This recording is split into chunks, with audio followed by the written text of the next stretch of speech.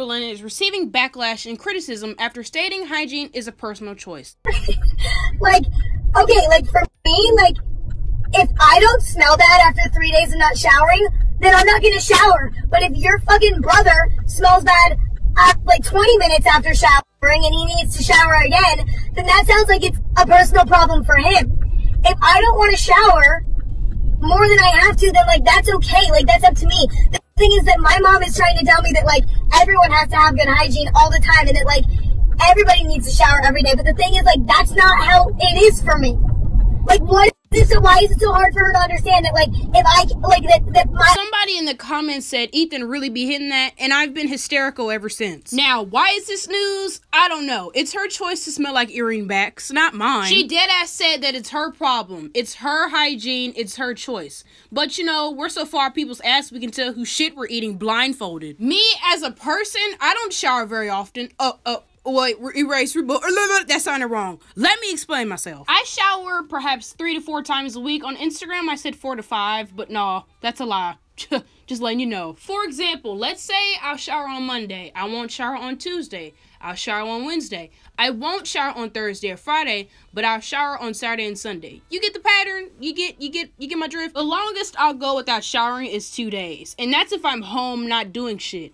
Now, if I'm at dance, boxing, on my period, or going somewhere, I'll shower. Sweat and dirt forms when you exercise. And as fun as having STD growth on your body is, I'll pass. If you shower too often, and this has scientifically been proven, I mean, me saying that doesn't mean shit, but listen, bitch, showering every day causes the natural oils on your body to strip, makes your skin dry, your face break out. Well, your face breaking out that's optional. Depends on your skin tone, especially during the winter. Ooh, walk out and get a fucking frostbite just by moving your fingers. Showering every day is a personal preference, just like a personal preference as to not showering every day.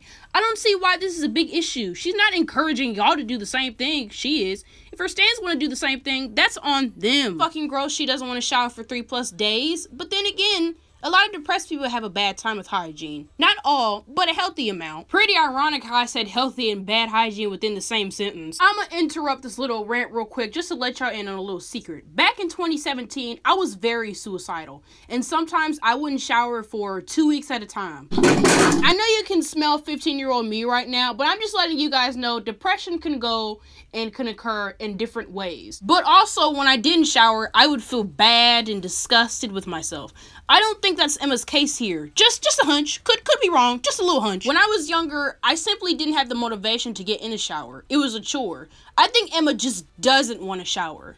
See the difference? Or it might just be one of the factors that Emma is depressed. I don't know that. I can't say that because I don't know if she's depressed. I don't watch her channel. And also, I'm not her doctor. So I can't just determine by saying, oh, she doesn't shower. That automatically means she's depressed. Case solved. Thanks for watching. Like, no, that's rude. I'm not gonna, no. Even when I don't shower, I still wash certain parts. I, I'm gross, but I'm not, ew, that bitch nasty as fuck. Gross. You know? Also, where was this energy with the queen, Shane Dawson? They both make jokes, but one's getting criticized more than the other.